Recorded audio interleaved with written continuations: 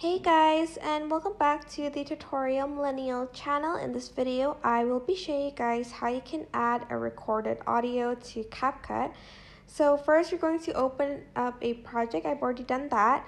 And then you are going to go to voice memos or wherever. And then you are going to click on the three dots here and then you are going to press share.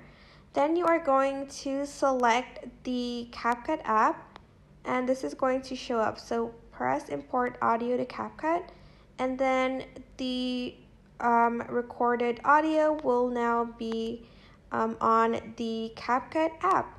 And that is basically it. It is super simple, but I do hope this tutorial was helpful for you guys. Don't forget to like, comment, share, and also subscribe to this channel if you haven't done that. If you have any questions, just leave it in the comment section down below and I will try my best to answer them all. Thank you so much for watching. Bye!